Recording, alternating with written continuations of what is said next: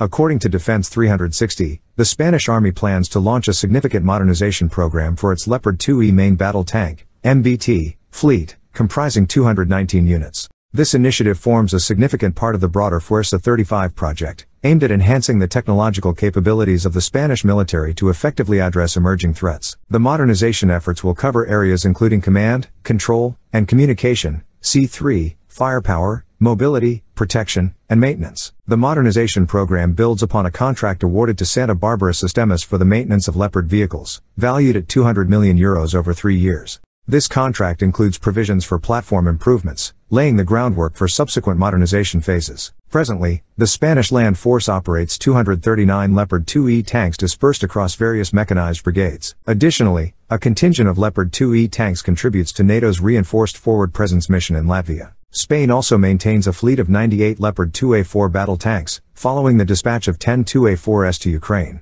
The Leopard 2E tanks share similarities with the Leopard 2A6, but feature components such as the Lince Battle Management System, BMS, and Indra license-built thermal imaging, T, optics. Initially aimed at addressing obsolescence issues and reducing maintenance burdens, the upgrade plan has evolved into multiple phases due to increased funding. According to military sources, the program is currently in the preliminary stages of exploration, with a focus on conducting a thorough overhaul of the aging Leopard 2E, also referred to as Leopardo 2E. The proposed modernization efforts aim to match or surpass existing upgrades implemented in other European countries for similar battle tanks like the Challenger and Leopard 2A6. Under a collaborative partnership between General Dynamics European Land Systems and Santa Barbara Sistemas, several key enhancements are set to be implemented across the Leopard 2E fleet. These upgrades include the potential installation of various protective equipment, including the adoption of a new smoke protection system, the integration of a new frontal armor protection kit, as well as the installation of an active protection system, APS, coupled with a new early warning system, as well as advancements in both mine and improvised explosive device, IED, protection.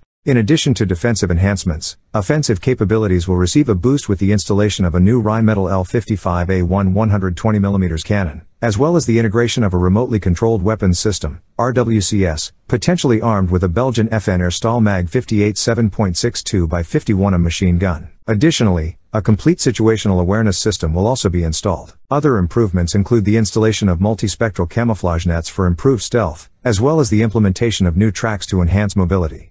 The modernization plan is structured into three distinct phases, each focused on the implementation of specific enhancements. Phase 1 concentrates on the resolution of obsolescence issues and improving sustainment efficiencies. This phase will include evolutionary maintenance actions aimed at addressing outdated components and ensuring the proper functioning of the vehicles throughout their life cycle. Upon completion of this phase, the Leopard 2E vehicles will transition to the 2EM1 variant, with an initial operational capability, IOC, targeted for 2029. The subsequent phases of the modernization program will see the substitution of main systems and the procurement of mission modules. Phase 2 involves the pre-installation of mission systems, bringing the vehicles to the Leopard 2 EM2 configuration, resembling configurations seen in the Leopard 2A7 series. Notably, this phase adopts a strategy of prioritizing essential components such as active protection systems, APS, and remote weapon stations, RWS. Phase 3 will see the acquisition of 60 mission modules, leading to the development of the Leopard 2 EM2 Plus standard, with a full operational capability, FOC, for these 60 units expected by 2032. These Leopard 2 EM2 Plus will include enhancements such as APS, an L55A1 gun, RCWS, laser warning systems, new armor packages, underbody protection against mines and IEDs, as well as smoke protection systems like ROSY.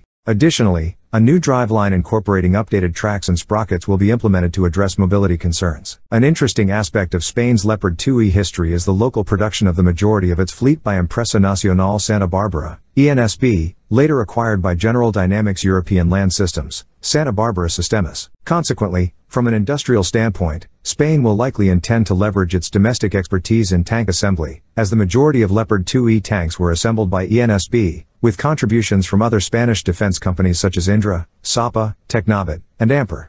Logically, the plan is to utilize this experience and knowledge to lead the modernization efforts. Recent geopolitical developments, such as the conflict in Ukraine, have underscored the renewed importance of battle tanks in military arsenals. In response, European armies, including Spain's, are reassessing their armored capabilities, leading to renewed interest in modernization initiatives. For example, as reported by Army Recognition on October 10, 2023, Sweden's Defense Materiel Administration recently signed a contract valued at approximately 301 million with Krauss Maffei Wegmann, KMW, to modernize its Stridsvagn 122, STRV 122, MBTs, also based on the Leopard 2 platform. This comprehensive upgrade includes electronic component replacements for compatibility with modern systems, integration with advanced command and control networks, and the installation of a new 120mm L55 caliber cannon with advanced ammunition programming capabilities.